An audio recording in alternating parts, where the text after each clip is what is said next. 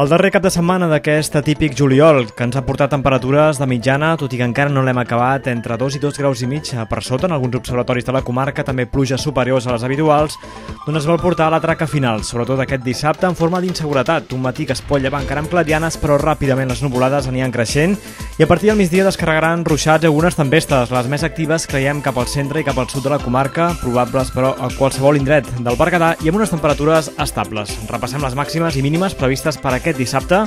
valors màxims que tot i aquestes nuvolades amb sort encara podran assolir marques de 25-26 graus en algunes poblacions, especialment cap al Baix Berguedà, i temperatures matinals doncs, no excessivament baixes a causa del cel doncs, ja bastant cobert dels núvols baixos, mínimes entre els 12 i els 16 graus. Pel que fa a la resta del país, doncs un dia també bastant complex. Al matí encara clarianes, però ràpidament a partir del migdia hi haurà ruixats i tempestes. Els més actius cap al Prepirineu, Catalunya central, també especialment cap a les comarques interiors de Tarragona, aquí poden haver tempestes localment intenses, a la resta variabilitat, amb risc d'alguns ruixats, i temperatures estables, a l'espera doncs, d'un diumenge més tranquil, amb més clarianes aquí a la comarca, encara algunes nuvolades residuals, sobretot a la tarda, i dilluns i dimarts la notícia, les temperatures, començarem el mes d'agost amb un ambient ja més típicament estiuenc, amb unes màximes que podrien fregar a partir de dimarts als 30 graus en algunes poblacions de la comarca.